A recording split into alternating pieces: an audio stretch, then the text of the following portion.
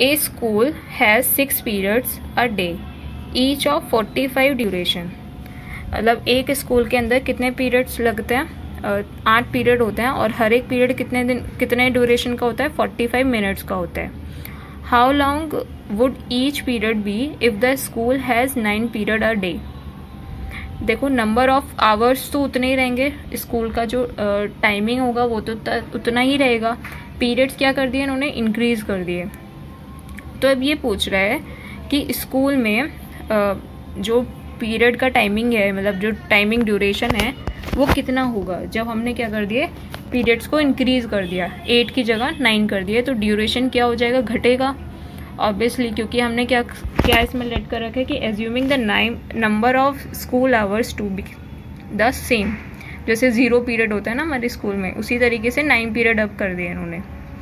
तो अभी हमसे पूछ रहा है कि उसे आ, हर एक पीरियड में मतलब कितना टाइम ड्यूरेशन होगा। तो लिखते हैं हम।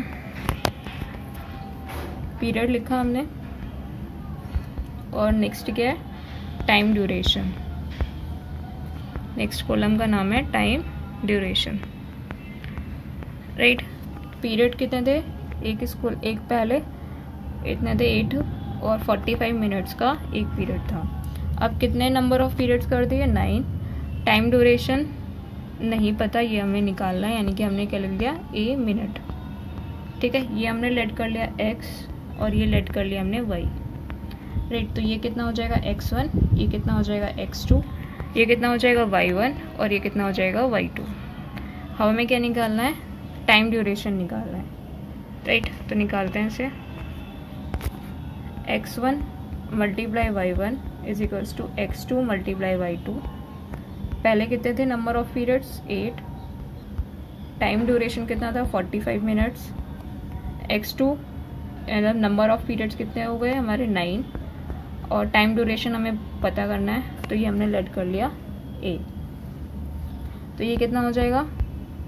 फोर्टी मिनट्स यानी कि हर एक हर एक पीरियड में कितना टाइम ड्यूरेशन होगा? हर एक ईच पीरियड में कितना होगा? फोर्टी मिनट्स पहले कितना था? फोर्टी फाइव मिनट्स तो क्या हो गया? घट गया पाँच पाँच मिनट सब में घटाकर क्या बन गया? एक नया पीरियड बन गया, जो कि जिसका नाम लग गया उन्होंने नाइन्थ पीरियड ठीक है?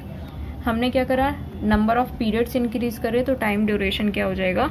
डिक्रीज हो जाएगा. ये किसका एग्ज़ाम्पल है? इन्वर्सली प्रोपोर्शनल का.